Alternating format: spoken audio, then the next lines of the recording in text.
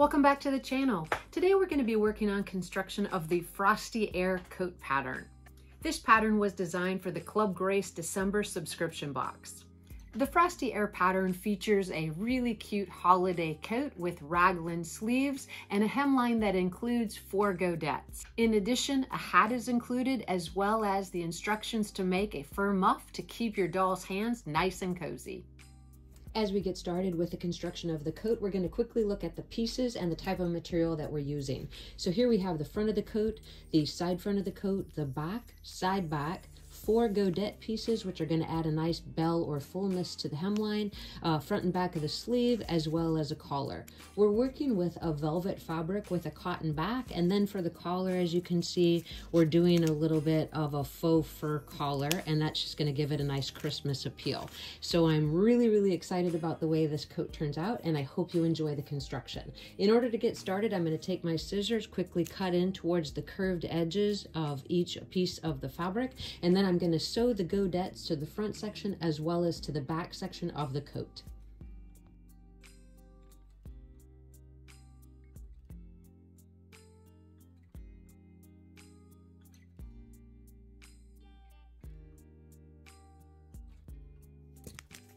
Now with those clips taken, I'm going to take my godet pieces and you're going to notice that there's two uh, notch marks on each side of the piece. This is going to go to the front section and to the back section. I just want to let you know that this material has a little bit of a stretch to it as you're working with it, so I feel more comfortable uh, sewing it to the actual fabric without pinning it too tightly so that as I feel it buckling a little bit, I can make some adjustments as I sew. If you like to use a lot of pins or you're working with a material that you're very confident with, go ahead and pin it as much as you feel necessary. So let's get these godets sewn to the back section and then we'll move on to the front.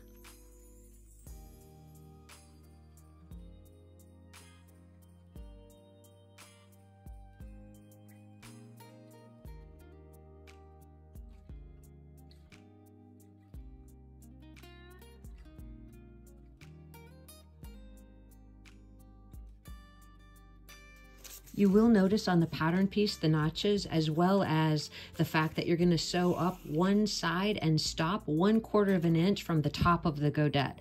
We're going to leave that unsewn that so we can clip in towards the seam allowance and then create that second side seam. So let's go ahead and get that attached and we'll see how it looks after we give it a press.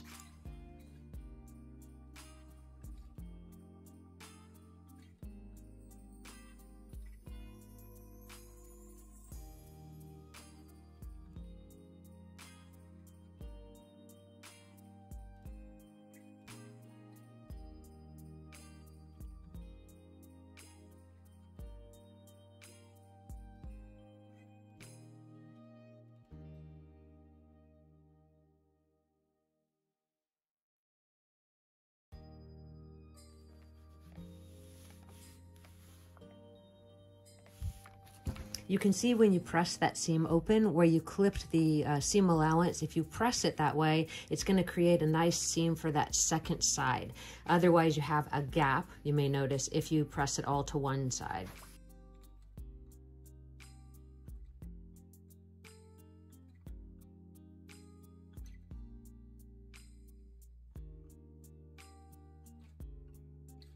Next, we'll sew the godets to the front sections of the actual coat.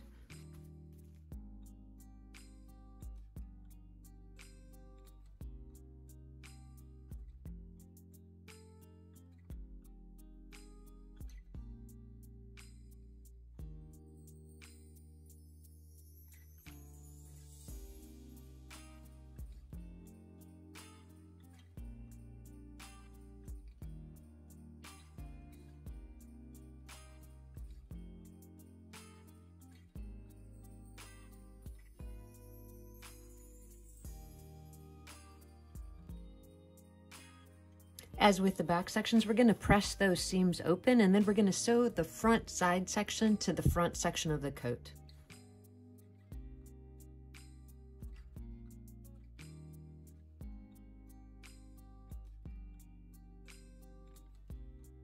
Now when I sew the side front sections to the front, I'm actually not going to use a lot of pins. I'm going to start at the top shoulder edge and work my way down around that curved edge of the bust. With a material with a slight stretch, I find that to be a little bit easier. But again, I encourage you to use as many pins as you find comfortable.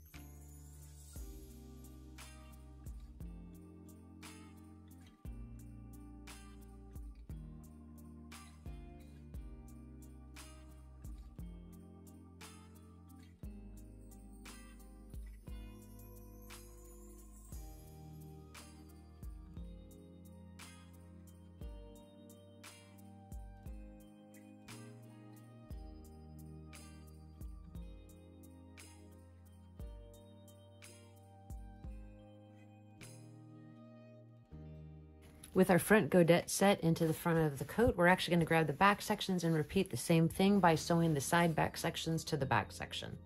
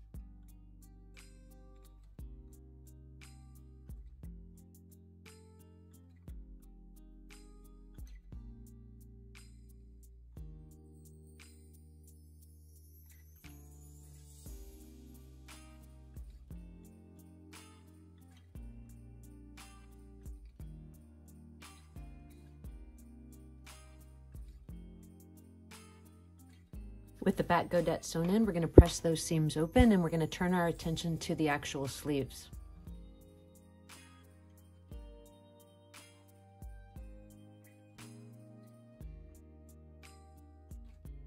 So there's our back section and you can see how nice those godets look in there. And here's the two front sections.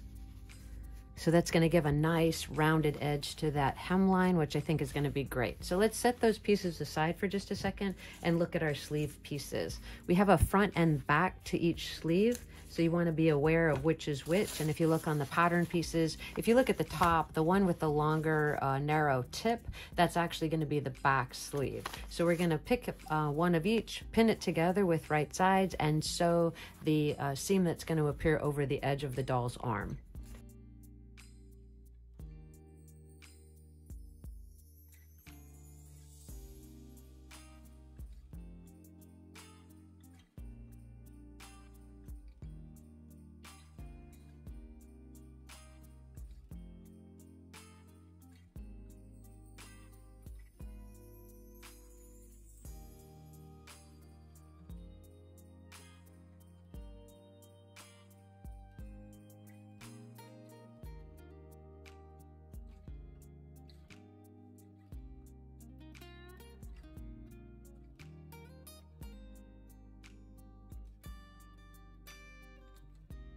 We're going to press those seams open and get the sleeves attached to the actual coat.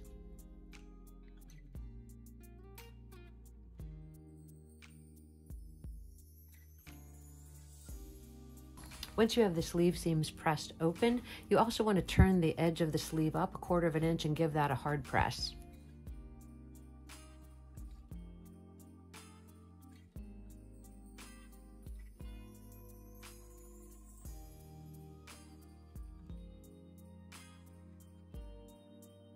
Now, if you look back at your sleeve, the one with the peak on it is going to go to the back. So I'm going to grab the back sections. I'm going to pin it starting at the top of the neckline right there and sew that sleeve in place.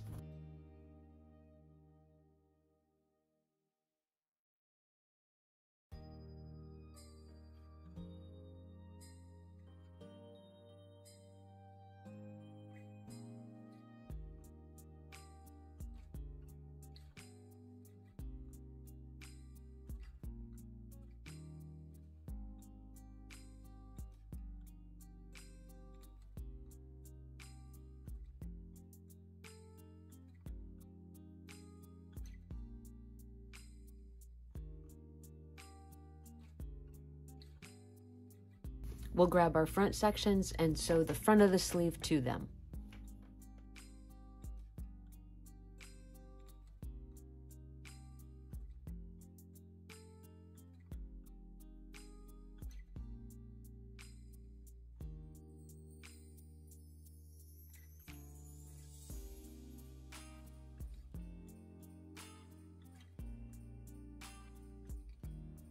We'll take that over to the ironing board and press all of those seams open.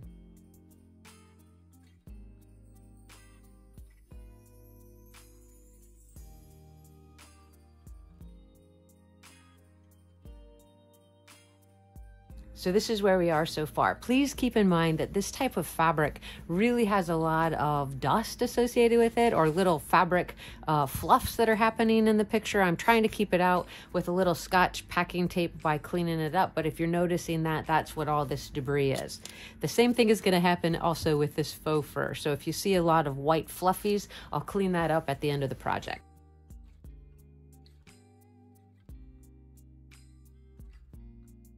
You can take a little bit of packing tape around the edges and just get some of that extra fur off if you'd like to. That'll just help anything that's loose. Then you can get your sewing area cleaned up and move on to the next step of basting the collar to the actual coat.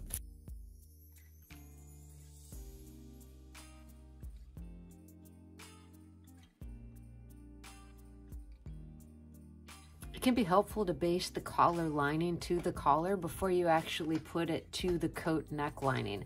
That'll just make sure all those pieces stay together and that you don't end up losing the lining underneath the pinning. So now that we have that in place, we're gonna pin it with right sides together to the actual coat and baste the collar to the neckline. When you line the collar up on the neck edge opening, you should have a quarter inch of coat past the actual finished edge of the collar.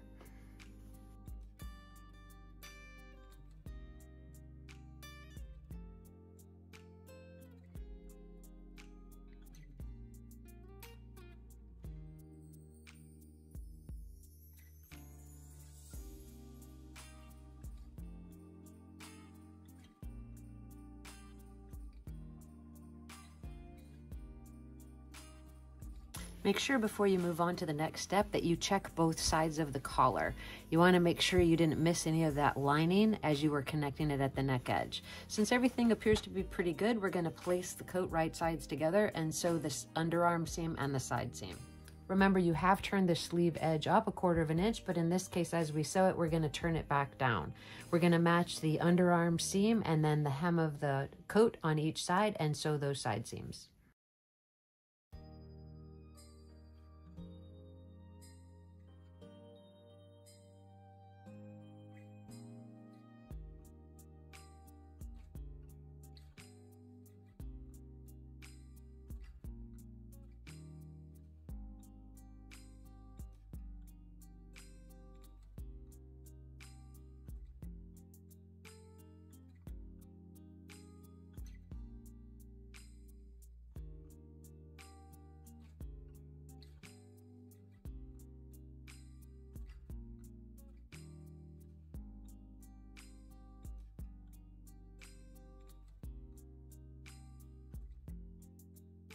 We're going to repeat that on the second side.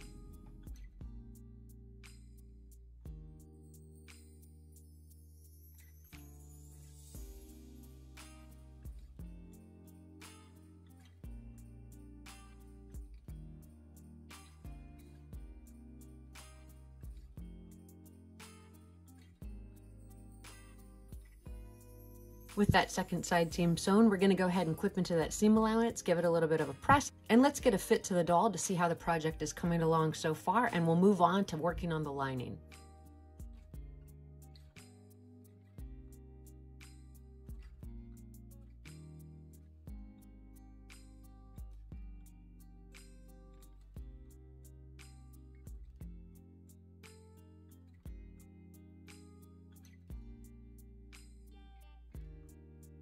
Let me grab a little packing tape and get some of the fur off of the actual velvet. We'll grab our doll and get a fit, and then we'll move on to the next step. So I've slipped the coat on to our Grace Marie Fitzpatrick doll for that final fit. You'll remember that these cuffs are going to turn up a quarter of an inch and I can still see the press mark there. So I think the length of the cuff looks good, the length of the sleeve. Um, I like how it fits through the waist. Keep in mind if you want to put something under the coat, if you want her to wear a dress, there is enough room that she could wear a little black dress. Probably nothing too bulky, so you could also use it as a coat dress without anything necessarily underneath it.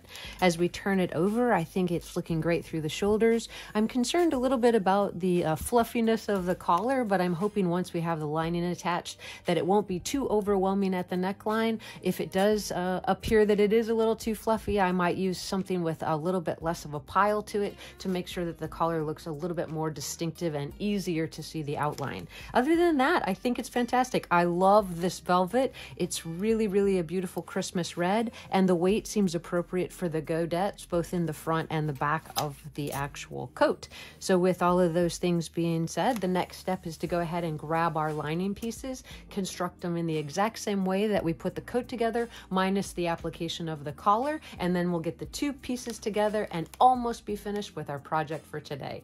So you, here you can see the completed lining pieces that I've done for the coat. At this stage, all we're gonna do is place the lining to the coat with right sides together, carefully tucking the fluffy collar inside the two pieces, pin it all the way the, around the outside of the garment, sew up the front around the neckline and down, and leave an opening in the very back of the hem for turning the coat right side out.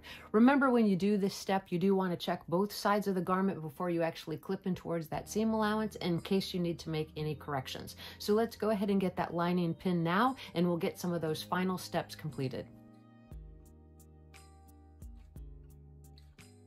Off camera, you can see that I've made a quick decision, and that decision was to actually change the collar on the coat. I was really concerned that this uh, faux fur, although super lovely, would just overwhelm Grace's neckline. Plus, I want to include in the pattern a little fur muff, and I think this uh, weight and this type of fabric would be more appropriate for that.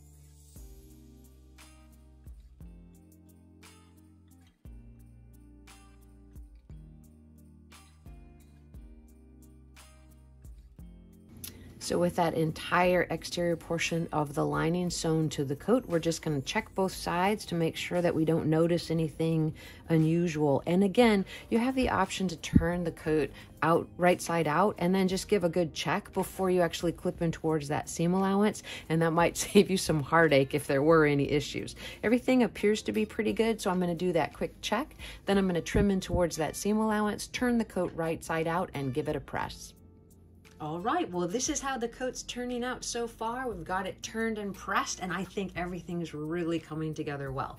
We have just a couple final steps, and our beautiful, beautiful Frosties in the Air coat will be complete.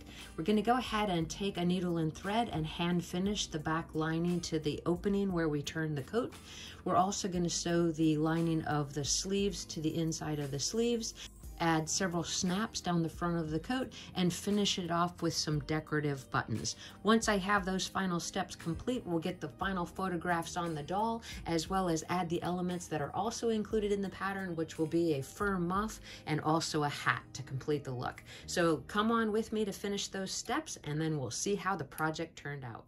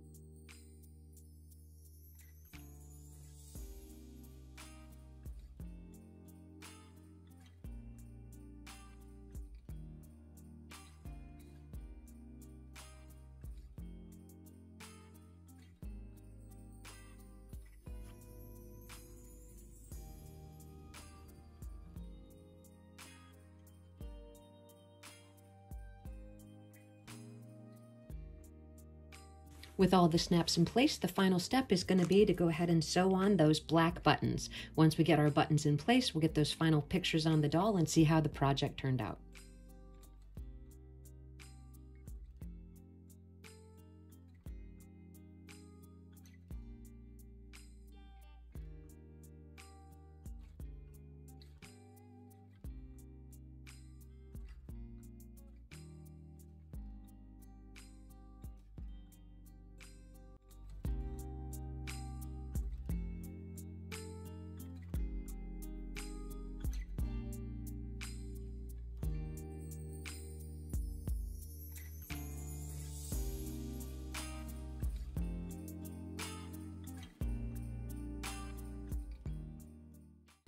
We've made it to the end of our sewing tutorial for today, and I think Grace is very pleased with her holiday coat. I hope you've enjoyed the construction of this pattern. If you have any questions, please list it in the comment section below. As always, I thank you guys for coming along with me on this sewing journey today. I really appreciate your time. Please hit that like and subscribe button, and I look forward to seeing you in the next video. Happy holidays!